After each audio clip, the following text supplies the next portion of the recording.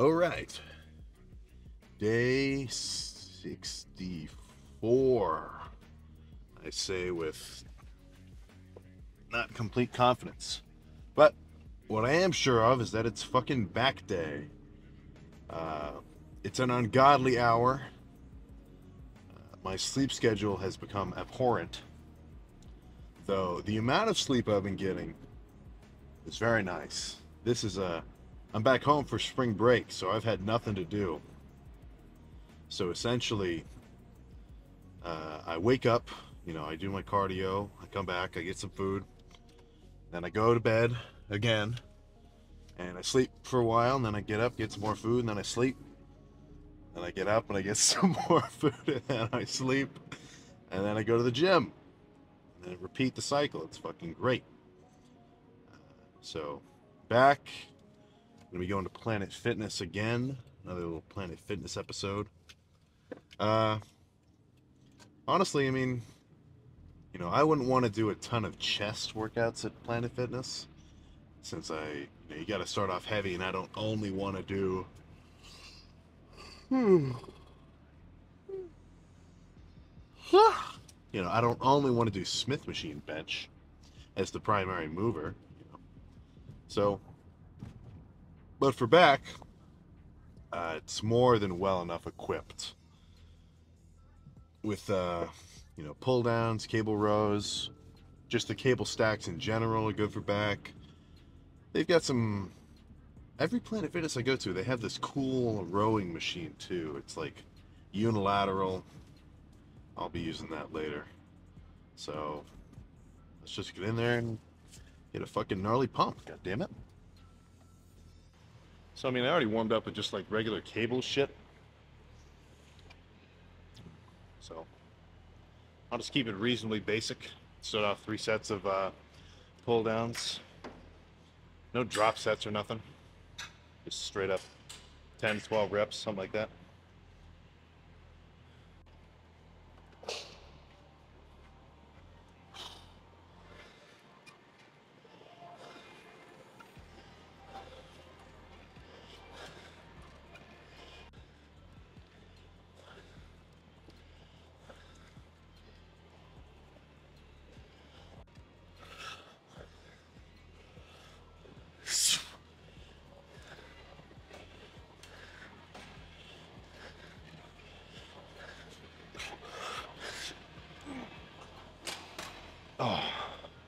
Obviously you're going to want to squeeze your reps, but I've kind of noticed as of late that I get a way better back pump going slow. Like, instead of just bouncing those lat pull downs back and forth, I was really trying to squeeze the fuck out of it at the bottom. So, definitely some advantage into controlling the weight and squeezing it rather than just moving it around. So next, think I'll do at least two sets of single arm cable rows. I like it more than dumbbells, plus the dumbbells here aren't heavy enough anyway.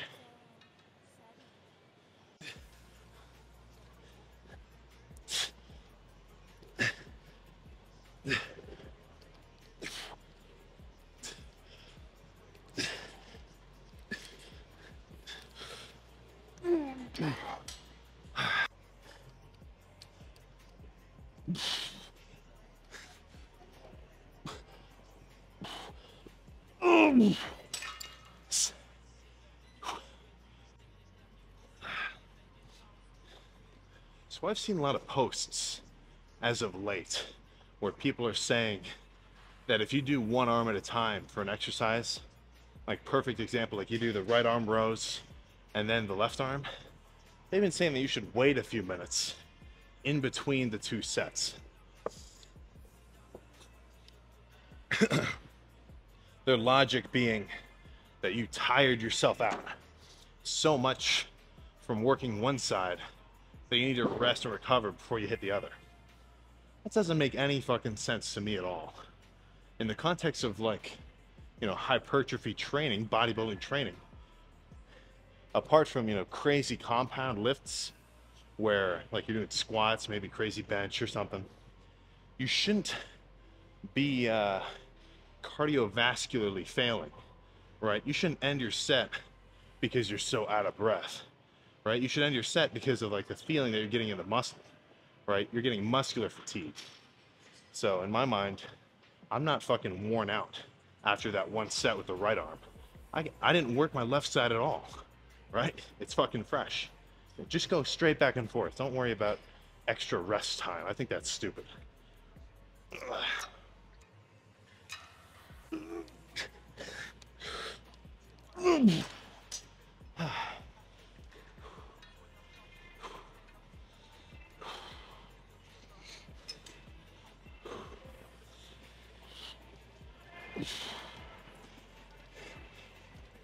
Okay, so that's six sets done, three pull downs, three rows. So since I like kind of alternating between rowing and pull downs, I think next obviously do a pull down movement. Uh, I'm thinking at least two sets pullovers, double arm, straight to a lighter pull down. Uh, the logic being the pullovers are just gonna, you know, wear down the lats a little bit, pre-exhaust style, and then really squeeze the fuck out of them on the pull down. So should add up to a pretty gnarly pump.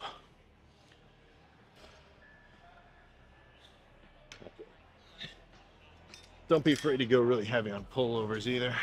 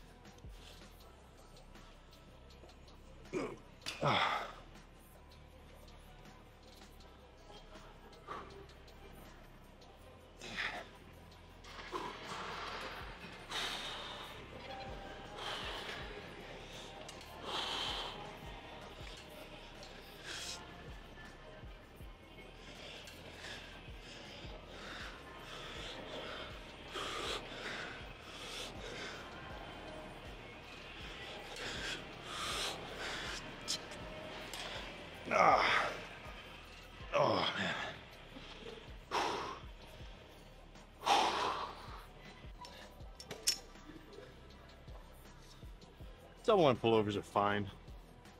I'm gonna do a single arm for the last set. And then we can move on to two more sets of something to be done.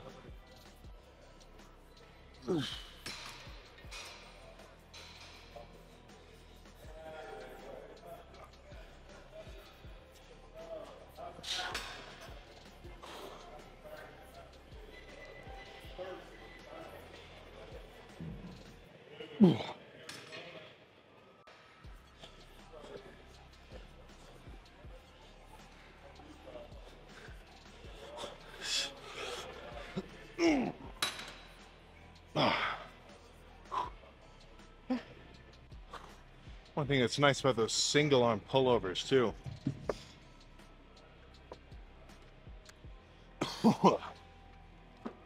is that while you're doing them, you know, with your opposite hand, you can feel your lat flexing. So that's almost like the equivalent of, you know, sitting on leg extensions and holding on to one quad at a time, or doing preacher curls and feeling your bicep. Uh, I mean, I don't really have to as much now. I pretty much get the gist of like, you know, contracting a muscle while I use it. But as a beginner, super helpful. Something about like feeling your muscle tense up. It'll just help you squeeze it even harder. So, finisher, thinking just two sets of, uh, of rows. I didn't want to use the lat pull down bar just because it's going to be so heavy. It'd be like fucking just weird holding on to. So, this little W bar will do fine. I just don't want to use the V bar. I feel like it's a little bit too close for my uh, for my preference.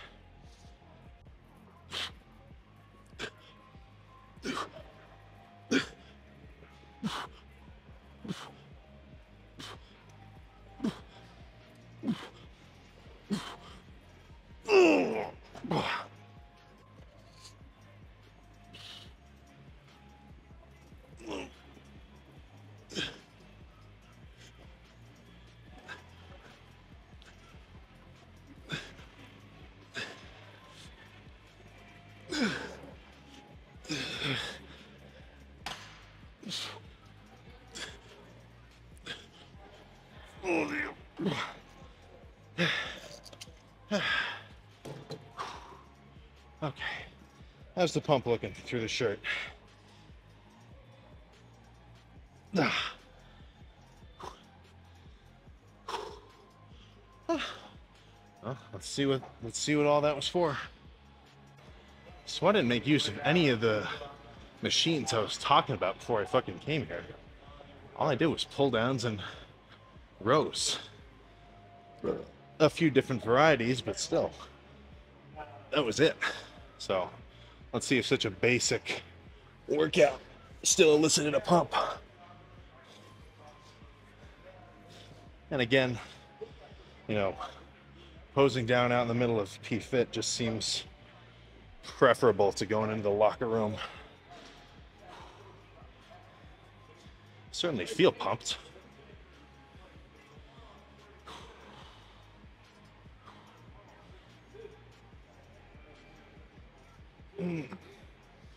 Holy shit. it's like a fucking turtle shell. Love it.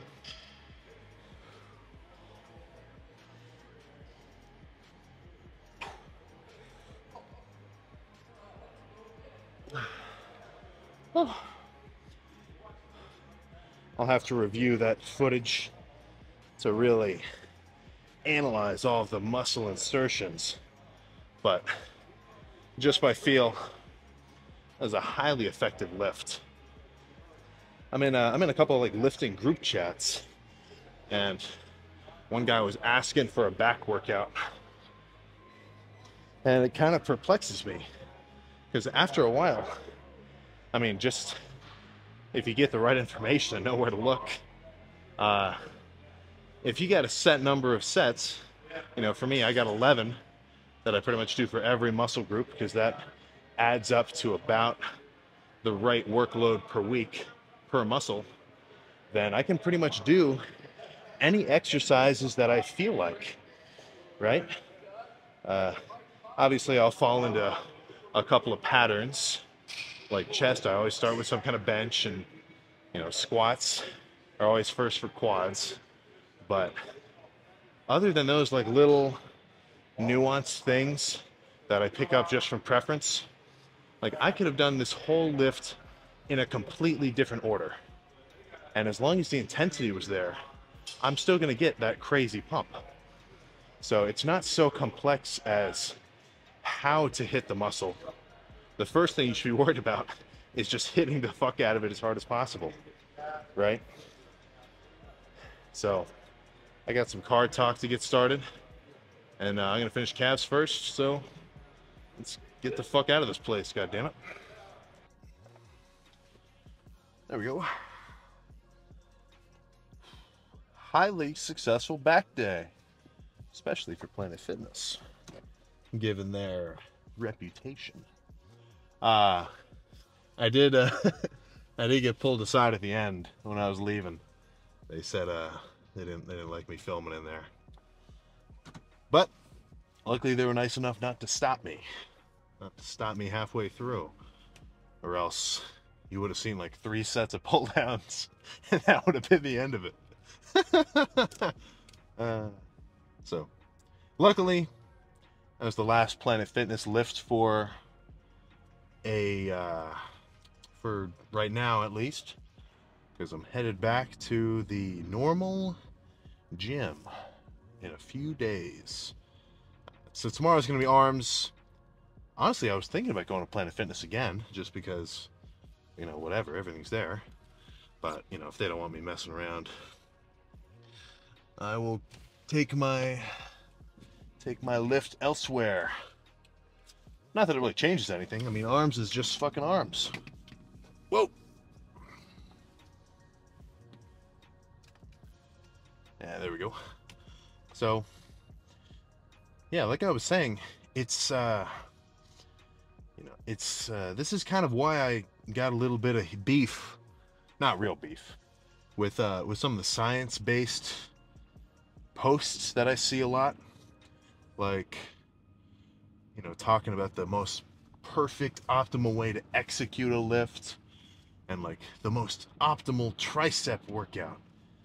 It's, uh, hell man, maybe, maybe they're perfectly right. Maybe what they're saying is the exact truth. But what good is that going to do the beginner lifter if he gets to a mild level of discomfort mid set and then says to himself, Yep, that felt good. That felt good enough for me. I'm done. It's just going to hinder his growth. I don't care if you give a kid the most perfect training, like you gave him a customized lift every day based on his, uh, like you got you got a fucking legendary coach looking at him exactly and like coaching him through the lift, telling him the exact sets to do, or the exact like work the what am I thinking exercises. But if the kid doesn't go hard, he's not going to make any more gains than any other schmo. You know? Like, as long as you're not skipping workouts, like you don't skip leg day or whatever, and you actually go in on a consistent basis, you hit everything about twice a week. Uh, first and foremost, as a beginner, learn the basic movements. You know, watch uh, watch some tutorials or ask some bigger guys for tips on like, you know, how to do a tricep push down. Like, hey, is my squat form all right? Shit like that.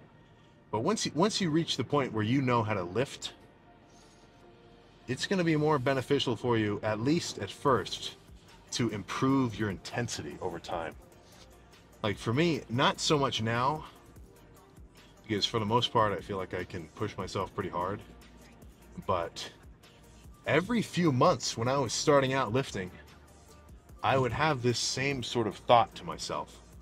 Like, I'd be in my little basement gym or whatever, late as fuck, and for whatever reason, I was especially hyped that day. And in my mind, I think to myself, all right, you know what? I gotta step it up. I gotta step up the intensity. And then, you know, I just go crazy, uh, extra hard. And that sets the new bar for the intensity of the workout, right? Like,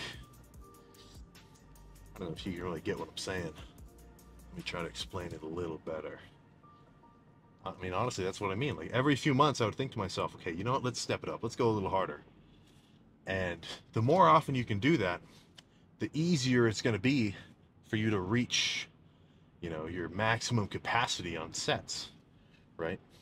Like for me, or for anybody, let's just take lat pull downs for example, because that's what we did today.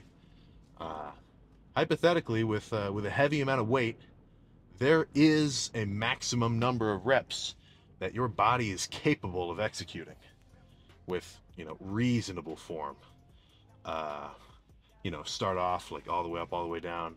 Then the reps start to get a little bit more like shorter because you can't squeeze all the way.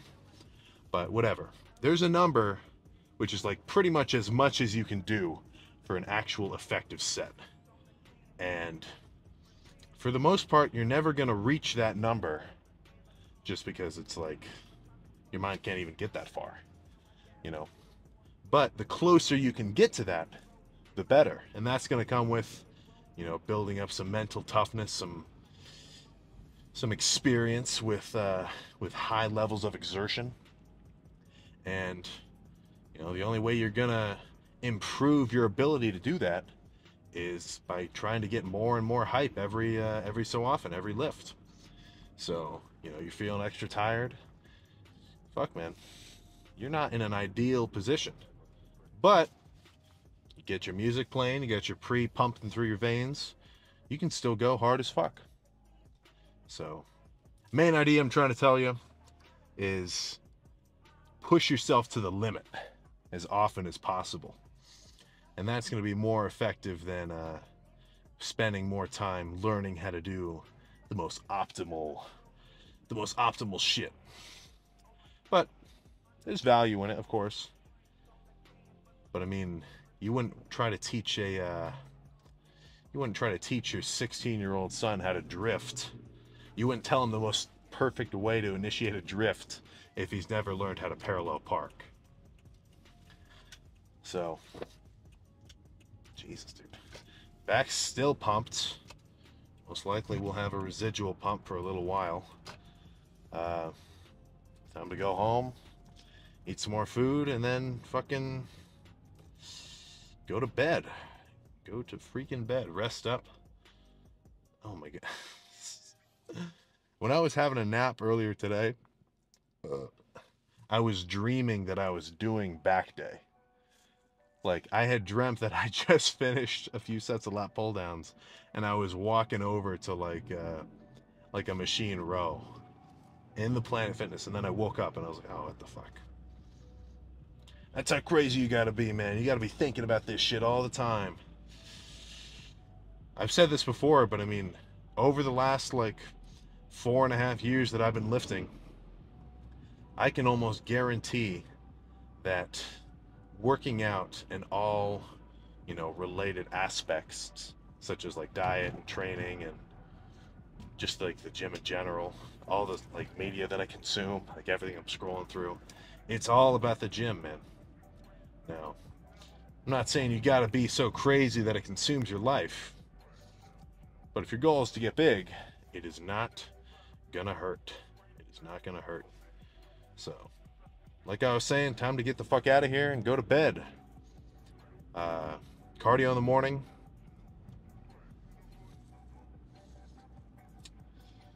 Yeah. Yeah, you know if you're doing your cardio and you know if you're not. You fucking assholes. what? Okay, okay, fine. Let's get out of here. All right, I will see you next time.